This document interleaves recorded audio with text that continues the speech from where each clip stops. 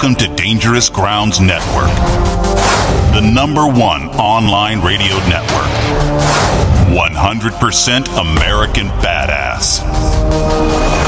Sponsored by Madison Rising, Kings Hollows, The Veteran Exchange, Combat Flip Flops, Branded Warriors Inc., Rose Tattoos. The Dangerous Grounds Network is here to give Americans a chance to be heard, play badass music, and to help all those in need with information. All our hosts have a great mind and knowledge to bring to you all. Anyone can come as a guest. Email us at dgn1980 at my.com and let's see what you've got. As we always say, let's get dangerous. From Jackson, by the way of Mississippi. Yes. Why did you join my army? Cause I ain't gotta worry about seeing no more burning crosses. Dress sergeant. No shit. Who was the chief of staff of the United States Army? That'll be that white fella, General Westmoreland, dress sergeant. Close your fucking mouth. Yes, some. Yes, sir. Drop and give me 20 maggot. Yes.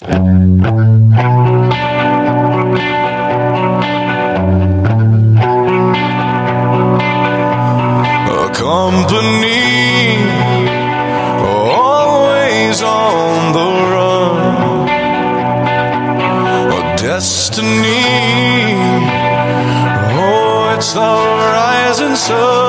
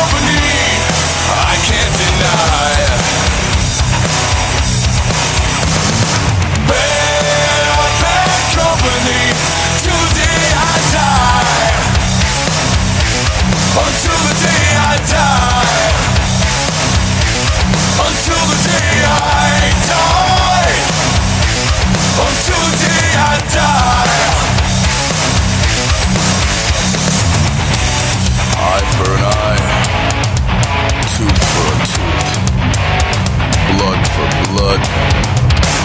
We've all gotta die. We've all gotta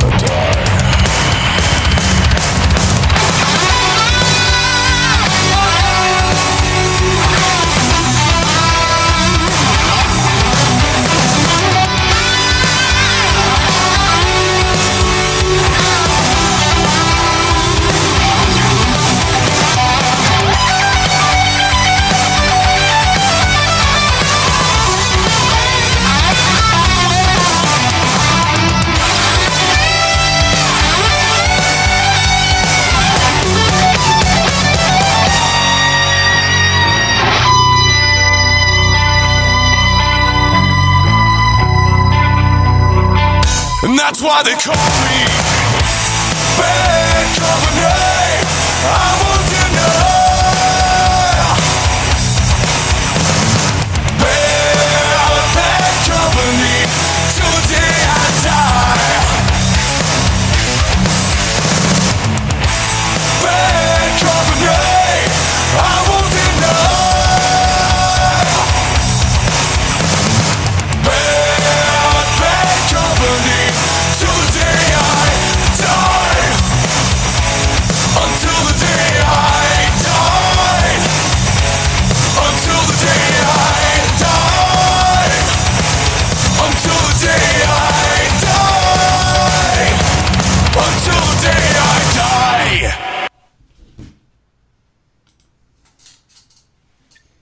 What's up, everybody, and welcome to another pointless edition of Barracks Lawyers on Super Bowl Sunday.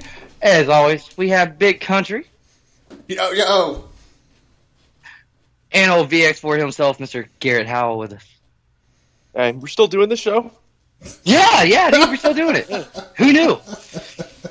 Got old uh old Chris Ripka in the chat with us. He's he's starting to starting to stalk me a little bit, and I, must say, guys, I, I actually have become very aroused. It's making me happy. Is your wife playing with your balls? nice, nice to see you, though, Chris. Nice to see you, as always. So, on this show, you guys all know we don't ever fucking prepare for anything because that's the way things are supposed to be when you get out of the military. Absolutely no structure, none whatsoever. So, being that I have absolutely no topics to speak about today, we're gonna we're gonna dive into the Super Bowl a little bit because I think we all know one thing in America, and no, that's not that Tom Brady and the Patriots are probably gonna win this. What we do know is that tonight Philadelphia is getting fucked up one way or the other. So to all the cops, all the paramedics, you know, all the National Guardsmen who are gonna be called in, we applaud you. Blair. You're just brave people going out there to deal with these fucktards tonight. Because either way, this city is gonna burn. you know what? I was thinking the same fucking thing. It don't matter. They got a reason to fuck it up anyway. Either you're happy or you're fucking pissed. I'm, I'm either either way, they're going to destroy the city celebrating, or they're going to destroy the city pissed off. It's just the Eagles' way. It's what Philadelphia does. It doesn't matter what sport it is, except for maybe soccer. I don't think they fuck anything up over soccer because they don't know how to play soccer. But you know, I mean, it's uh, it's going to be interesting one way or the other. You know, personally, while everyone else is watching the game, I'm going to be waiting for that live stream from like Fox, CNN, MSNBC. Yeah. Police, police have uh, cordoned off all of Philadelphia tonight. We're just waiting to see what happens. It's going to be the next Ferguson. Let's see. It's going to be bad. Yeah. Brotherly love just went to hell tonight. just saying. Uh, yeah, dude, that, that shit went out the window. Yeah, no brotherly love tonight. So, Garrett, having a law enforcement background, what do our National Guardsmen with a whole five minutes of training that are probably going into this tonight, what should they be thinking about? What should be on their mind? Oh man, I don't know. If if it does go down like that tonight, it's gonna be a shit show because it's just gonna be, you know, uniform people going after civilians, and they're not gonna know who's not doing what and who is, and there's gonna end up being fucking videos come Monday morning Oh, yeah. of police brutality and all this. Shit. yep. But man, I don't, I don't know. They just need to do their 525s, keep their eyes open. I agree. You know that I, I agree too, and you know it is going to be a shit show tonight. And for for those of you, you know, in the uh, in the Philadelphia National Guard, everything else, you know, whatever that unit is closest to Philly, you know, you guys, even though you may not have deployed yet, even though you may only have collectively a few months of training, don't worry, you have real bullet. Every- and you're not wearing body cams. Just fucking shoot. It's gonna be Yeah, okay. And you're not in Afghanistan, so you got a shot at a stateside kill, man. Hey, stateside fucking kill. That's what I'm talking about. And just remember, just remember, you are the fucking United States military. Fuck that camera. Smash that bitch. That's right. Butt straight to the lens, baby. That's right. Just saying, you're not a cop. You smash that fucking camera. That's right. Me and this motherfucking shit. Fuck shit's in my fucking way, boo, bitch.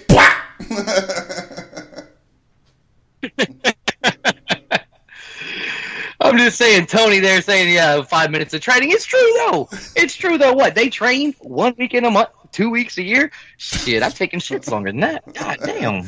I'm telling you, the Browns been, been Browns been in more training than they have. Just saying. That, that's true. And you know what? And Chris, you're right. We, we do have to hear it for the nasty girls up there. We do. We got to hear it for them. Because, you see, the National Guard is pivotal in this situation because the regular army would say, "Fuck it, we don't care. Let them destroy the shit." Law enforcement's problem. Law enforcement saying, "Well, fuck you, army. We got the fucking National Guard. Yes, the fuck you do. Call them every goddamn time. The Army's number is 1 800 Don't fucking call me. We're watching the goddamn Super Bowl. Just say it. That or we're bored. One or the other. It goes either way in the military. You either love it, you hate it. I say fuck politics, leave it out of it. I'm going to watch the game. I just want to see somebody get hurt. Preferably Tom Brady. Oh, just- God. You know, I'm I not would hating. love to. I'm not. I just want to see I want to see. I want to see what Luke Kuechly did to Tony Romo to fucking Tom Brady tonight. That's how bad of an ass without like a finger in the deserves. What's that? I'm just. What was that? Like a like a hand in the butthole? Is that what happened? Oh no, man! Fucking took Tony Romo. that what you're looking oh for? no, I'm sorry, Johnny Manziel. Sorry. Remember when Luke Kuechly hit Johnny Manziel? I'm not fucking. Ah. uh, I ain't coming back. Ain't coming back. oh, dude! I swear to God, when Manziel, when when the Panthers played against Manziel, I was like, please, please let Luke just get one good fucking hit. And not only did he get fucking Luke, but he got fucking Jones too. He, the motherfucker got smashed. And he's like, yeah, I'm a bitch. I'm laying out. Well, one one thing reigns true in the military on Super Bowl Sunday, and unless that's been changed recently, because I was never lucky enough, never lucky enough to have the following Monday off, and you would think the chain of command would look at this and say, "It's Super Bowl Sunday, our guys are going to get fucked up. How about you know? How about we just don't uh, we just don't come in on Monday." You know, we just take a little three day weekend. But no, Yeah. they want everyone to come in on Monday. You always got the one guy that's going to be drunk on duty. That was me. You know, I mean, you, you're just going to have that shit. It's going to happen. It, it comes with time. It should be a fucking holiday. You know, the military. We don't we don't need all the holidays we get. We don't celebrate some of them, but Super Bowl should be one of them that we celebrate. Right, I agree. Just for the sheer fact that it would save on article. I'm telling you, it's- it's just a good idea. It would. But then you, You got know? your chain of command that's like, uh huh, they're going to party. They're going to get fucked up. We're going to make them puke the next morning. Come on. I dare you. Assholes. You see, what the reason that is, the reason it is, is that the officers know that they can duck out of PT and they don't have to be there till first formation. So they're going to be sober by that time. Enlisted people, we can't do that. You know, if I had that extra two more, that extra two hours, you know, in the morning to, to sober up a little bit, get a hot pocket or something in me, you know, some peanut butter, you know, I'm just saying I can fucking I can show up to you know first formation squared the fuck away. PT formation though, that's pushing it. I mean, I'm not gonna quit drinking until two, three in the morning. Why I gotta be there at six? Right? Just saying. Just saying. Officers have that life; they can get away with that shit, man. We can't. Oh, That's. I- I- I, I agree. I agree. You know, I mean, I think the fields have got to. I think the field should change. I think some of the rules should change.